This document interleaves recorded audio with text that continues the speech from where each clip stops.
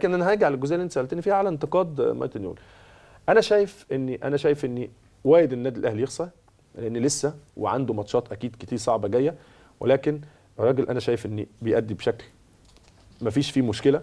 أنا شايف إن النهارده دوافع لعيبة النادي الأهلي ويمكن التصريح اللي قاله طبعا أنا أعتقد إن هو يلام عليه لأن ما كانش يجب إن هو يقول تصريح زي ده لأن هو مدرب كبير. المفروض إن حتى ولو حسم بطولة الدوري إيه هو التصريح يا كابتن؟ اللي هو قال إن إحنا يعني بعد خلاص إحنا إحنا هنكسب يعني الماتش أو نعمل فارق وبعد كده نرتاح يعني هو أو ممكن ننام على يا أحمد ممكن وارد وارد يعني ممكن يكون خطأ بس ترجمة. هو, قال محتاج ثلاث ماتشات كمان عشان ابتدي استريح. تمام. أيوه ما أنا بقول لك عشان كده خطأ ترجمة إن المترجم هو اللي بينقل ال- على للمدرب فكره على فكره على فكرة أنا عايز أقول لك على حاجة. ما هو أنا أنا معاك إن هو ممكن يكون خطأ ترجمة بس هو الإحساس نفسه الإحساس نفسه يعني دايما أنت عارف إن بيدي انطباع بالراحة يعني. بالظبط كده. بيدي بيدي انطباع. فأنا شايف إن يجب إن يكون في حلول في الفترة اللي جاية. آه إن يجب إن هو برضه يحصل نوع من انواع لأن لأن لأن هو برضه راجل مثبت تشكيل طول الوقت.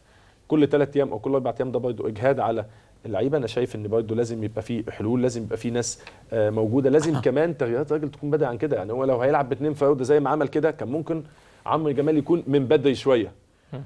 وهنا لما عمل التغيير ده هل هو بدأ يشتغل الأجناب؟ يعني هو لما بينزل باثنين فراوده النهارده بقى موجود آه إيفونا وبقى موجود آه عمرو جمال. فالاثنين اللي يكونوا موجودين دول هم بيمتازوا بإيه؟ يعني عمرو جمال بيمتاز راجل بيمتاز إن هو هيقدر كويس جوه ال 18 بيقدر يخلص لك الحقيقة. فلازم يشتغل الأطراف. لازم